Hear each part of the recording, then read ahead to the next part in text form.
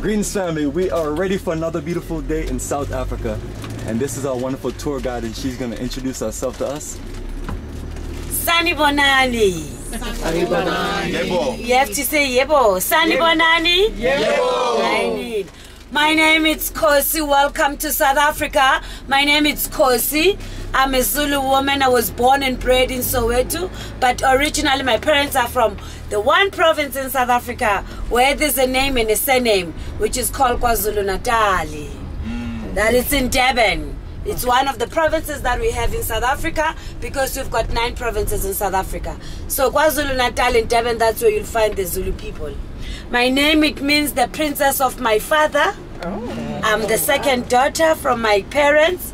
We are three of us.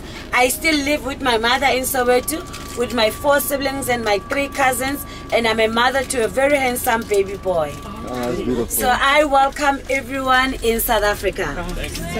Siyabonga. Now we are moving, we are living in Johannesburg. This is around, this is Braamfontein. We are now gonna drive plus minus one hour 30 minutes from here to go to Lesedi Cultural Village.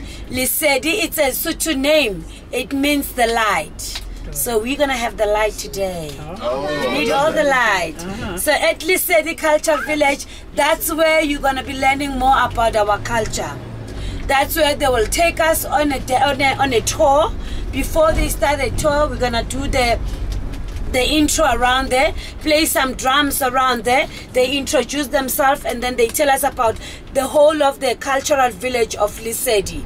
That's where we'll go and do a tour about a one hour walking tour around there at Lesedi Cultural Village. And then after, we're gonna have a nice buffet where you'll experience some of the African food around them.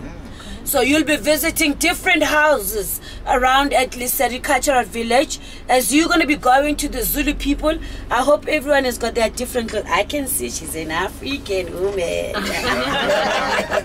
so when you go to the Zulus, they'll be wearing some Zulu clothes and then they'll be explaining more about the Zulu cultures. Just like me, as I said it, I'm a Zulu.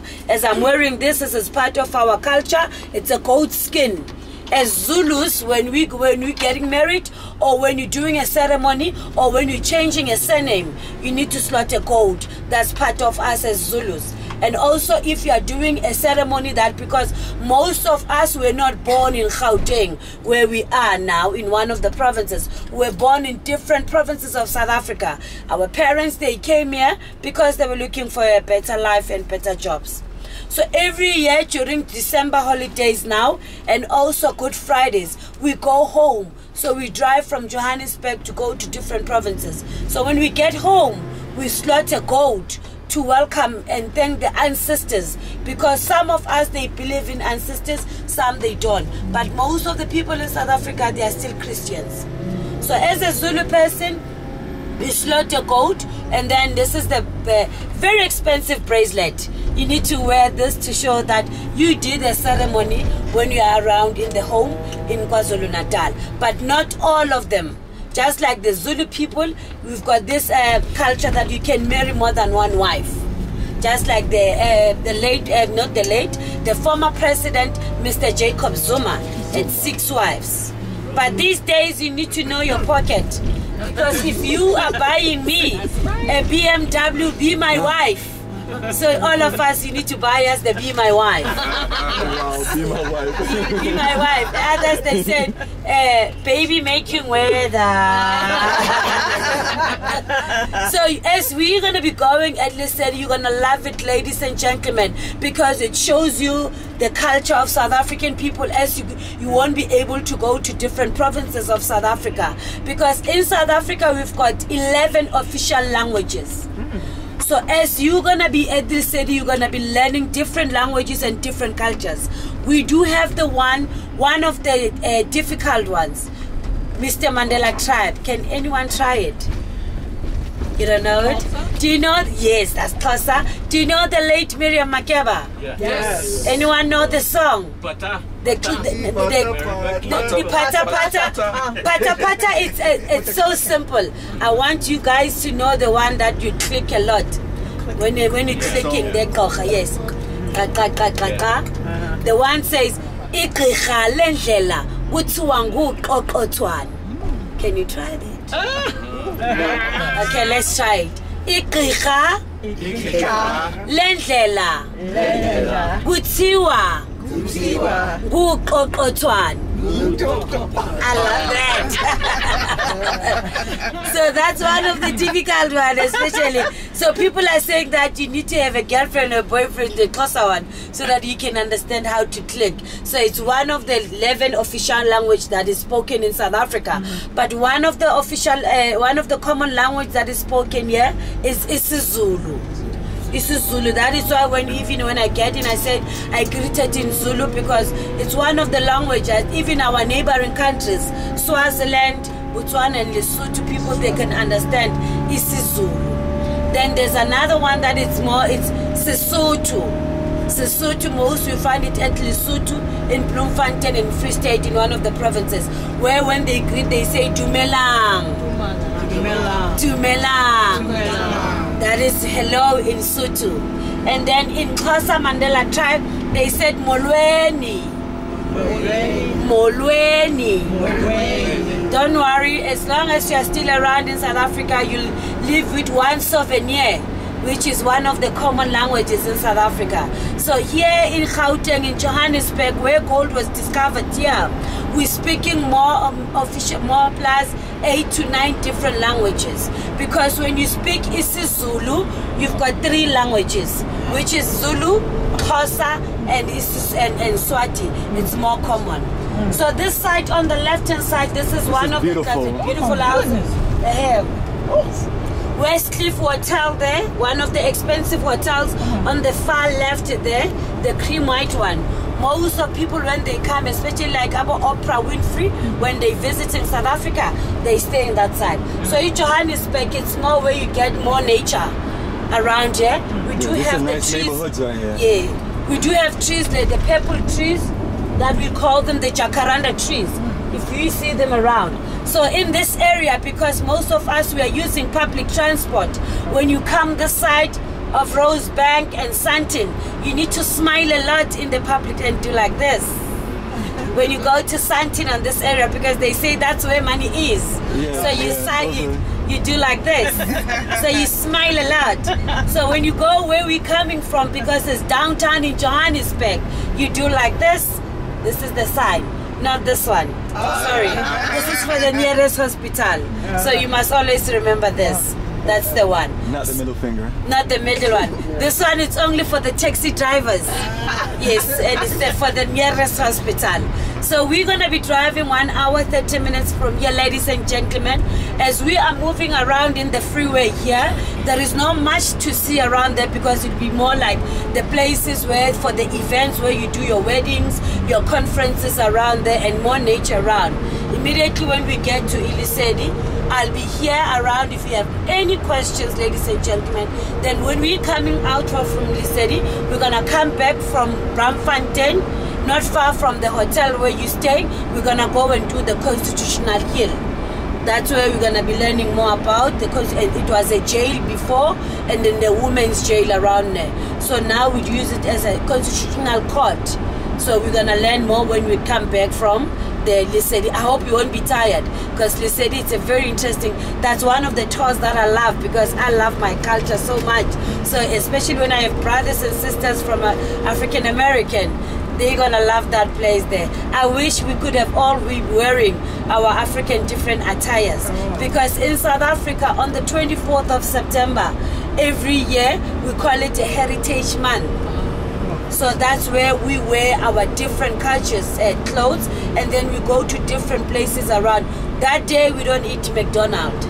We don't eat Burger King. You shouldn't eat McDonald's at all. Yeah, we're Sorry. only eating our African food.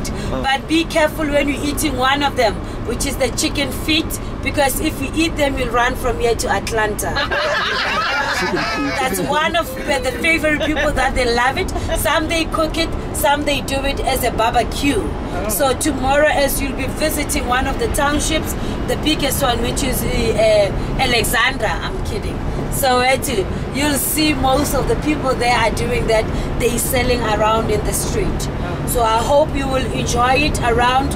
And then from here in Johannesburg, you speak most of Zulu, Xhosa, and Tswana and, and Shangani. But as you're going to be going mostly in Cape Town, they're speaking more Afrikaans. It's one of the language that the media of instruction, the kids of 1976, they did not want it. Remember when Jan van Riebeeck, they arrived in South Africa in 1652 Yeah. because they were Dutch, so they were speaking most Afrikaans that side, and also they speaking isiXhosa isiXhosa around in, in, in Cape Town. So you'll see the difference as you are in Johannesburg and also when you are in Cape Town. So unfortunately, I'm sorry you won't see me after Cape Town. I wanted us, but you can write for me and tell me the difference between Gauteng and Cape Town. All right. And then here, everything that we do, we do local. Local as lekker, we call that. Local as lekker, that it means that everything that is local, you need to try it while you're still around. All right. So today, as we driving, don't worry, I'm here.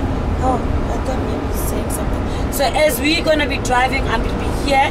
Now we are leaving the north of Johannesburg now, which is the Melrose Arch around here. And then There's some fancy places in this Yes, yes, these are the fancy places around the shopping malls that you'll find in the in the, in the north. Not far from here, you'll see the one that is uh, Mandela. Mandela, there's Mandela Square with the Mandela statue here, where we call it in Santin. Sandton. Even his home, it's not far from here, from Houghton, where he stayed here after divorcing Winnie when he married the third wife, which is Graça Machel. It's in here in Houghton. All right. How was your flight last night? It was very long. 15, 15 hours. You know, I thought maybe it's gonna be late because of the weather. I said, "Oh my God, I can." But the energy that we have, it's, it doesn't feel like you had a long uh, flight. It was there. So your Christmas, you enjoyed it in South Africa. Where did you go last night? Um, went to Rosebank Mall, Oh. but almost every restaurant that we wanted to go to was closed. It was closed. I'm, I'm sorry. You know what I was saying? I was saying I wish you guys you could have started in Cape Town, but we do we did because of the itinerary. Because I know Yeah, the, Cape the Town. flight, the flight, the flight into Johannesburg, and then go to Cape Town. So Oh. we, we, we get off in Johannesburg, and then when we're ready to go back, the flight leaves from Cape Town. Okay, because of in Cape Town, I know most of the places are open. Yeah, Like Cape Town, enjoy- nothing. Yeah, as far as You know- you restaurants, know- they don't play around. They, No, here the thing that uh, made made most of the business to be closed is because of the COVID. It did affect a lot of businesses, especially in tourism side. Okay. So some of the places they are closed because of the COVID, and some they can't maintain it even if after the COVID. So that is why most of the a lot of places people are. Yeah. Yeah, the, the yeah the COVID it did affect, especially us in tourism. In other businesses, yes, they did manage to do it, but tourism, you know, there was no coming in, there was no uh, coming out. Yeah. So that is why even people in Johannesburg and Soweto, they trying to maintain that standard so that the tourists can come to us in Johannesburg. Are we are we gonna stop by the uh, statue? The Mandela, the Mandela statue? No, not today. When maybe if we have time, we can we can we can stop on our way from Lesedi Cultural Village. We'll see how time goes along to on Sounds our way. And that, that is in Sandton, right? Yeah, it's here. It's Mandela Sandton. Square. Mandela That's never Square. been there. Coach, I have a question. Is, is there is there any monument of uh, Willie, Mand- Winnie Mandela? There isn't. No? Really? There isn't. It's one of my one of my dreams to have it. It should be. Especially in Soweto, because Mama Winnie She's- played a a big role She did. for us, eh, for everyone. Everybody You when- know, even Yes. if when they were saying that she did bad things, but Mama Winnie, she's one of the powerful and strongest women that I Yeah. know. I met Winnie Mandela in Philly. Oh, Serious. I Oh, did. That must have been a wow. blessing, man. Oh my This is God. great. So now they want to turn her home to a museum in Soweto, but they are still negotiating.